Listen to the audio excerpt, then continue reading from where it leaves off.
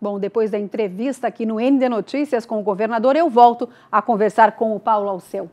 Paulo. Pois é, Diane, tem tanta coisa que eu não sei se eu vou ter tempo suficiente para expressar ouvindo essa entrevista do governador Carlos Moisés. Até porque ele mudou de opinião de um tempo para cá em vários segmentos, inclusive com a imprensa, né? Que tempos atrás ele pedia para que não patrocinassem é, grupos de mídia que eram contrários ao governo dele.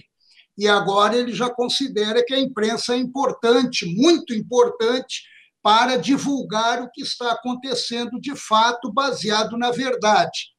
Em relação ao impeachment, que eu achei muito interessante, é que o governador desqualificou os cinco pedidos de impeachment. Ele não demonstrou nenhuma preocupação, porque para ele não tem sustentação técnica, jurídica e muito menos política. E ele está sustentado também no presidente da Assembleia. Foi ele que falou. Ele deixou bem claro que o presidente da Assembleia, Júlio Garcia, declarou que não há clima político para impeachment. Ele se sentiu mais à vontade. Em relação aos respiradores, em relação aos respiradores, governador, a força-tarefa que fez a Operação Oxigênio mandou toda a investigação para o STJ.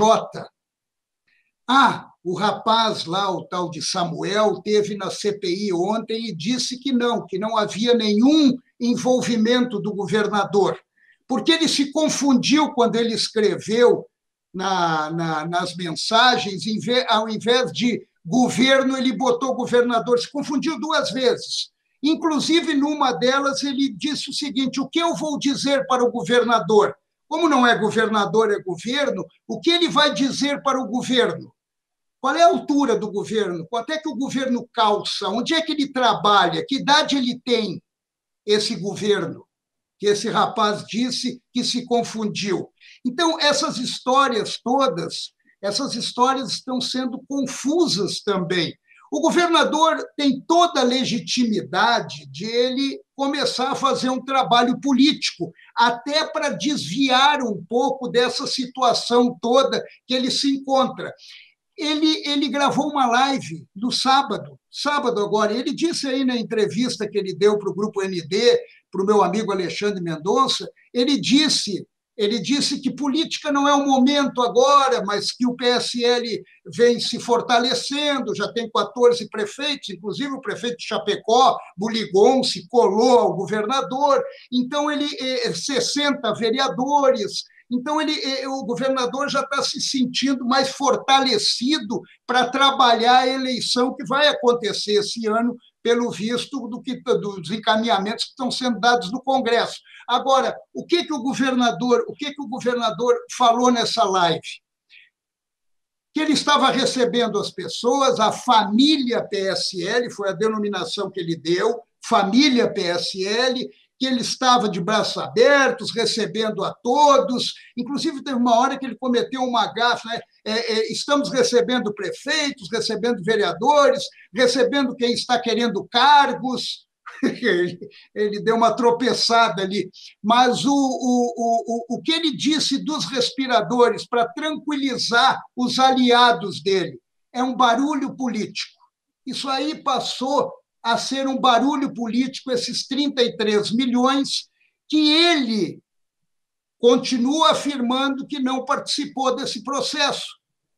É tão grave participar como não saber o que está acontecendo num governo quando se movimentam 33 milhões de reais.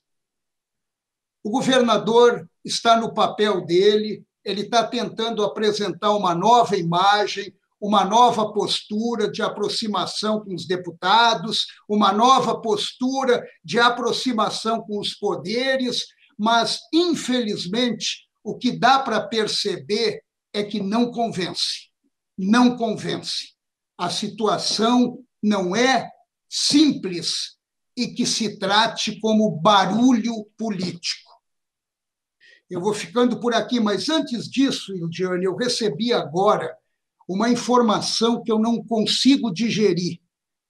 gastaram 922 mil reais, praticamente um milhão, com combustível durante a quarentena lá no Congresso.